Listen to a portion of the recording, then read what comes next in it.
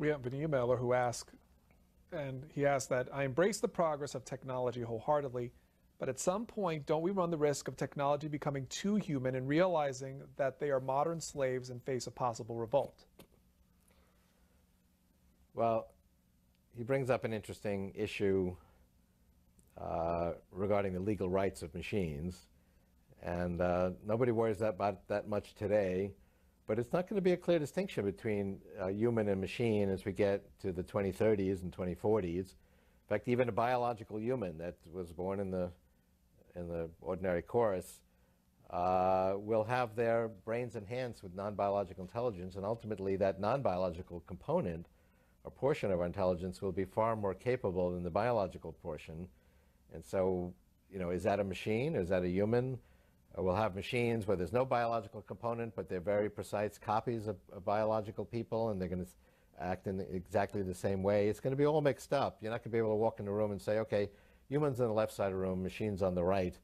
It's, it's going to be very much an integration of, non, of biological and non-biological intelligence, just as it is today, except that the non-biological portion is going to get a lot more capable. And ultimately, they're going to press for their own legal rights. Uh, and there's already a lot of interesting discussion about that. Uh, and, you know, I think that that will happen, uh, you know, particularly when you can have an entity that's completely non-biological that's just as convincing in terms of their uh, sophistication and complexity of their emotions as humans. And emotional intelligence is not some little sideshow to our intelligence. It's actually the cutting edge. Because in terms of the logical, analytical things we do, machines can already do a pretty good job of that. Very few mathematicians could hold up to, let's say, Mathematica. And recently, mathematical theorems have been done as a collaboration between the human mathematician and the machine. But emotion is actually the most complicated and sophisticated thing we do. But ultimately, we will understand that as well. And these future machines will have emotional intelligence. One of the arguments or things you bring out in your books the fact that the ability for a brain to be downloaded into a synthetic body or a version 2 body, as you call it. What do you mean by that?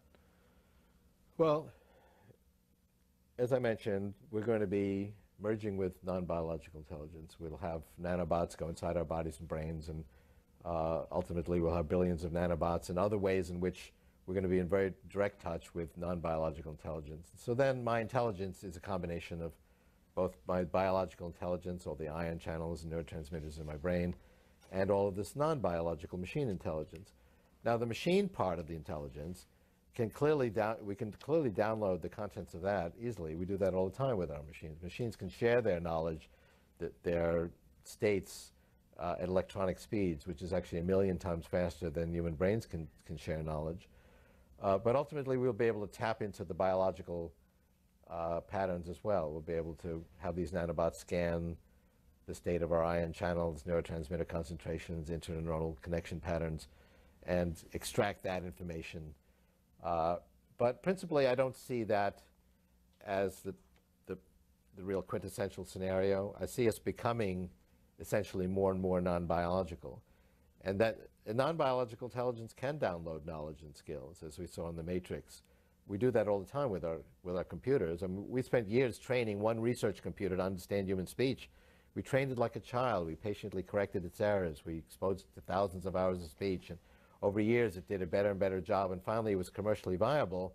Now, if you want your computer to understand human speech, you don't have to go through those years of training like we do have to do with every human child. You can just load the evolved patterns of this one research computer that learned its lessons. It's called loading the software. Machines can take their learning, their skills, and share them at electronic speeds, which is a million times faster than we can share our knowledge with language, although the fact that we can share it at all gives us uh, one up, gives us a leg up on other species. So there you go.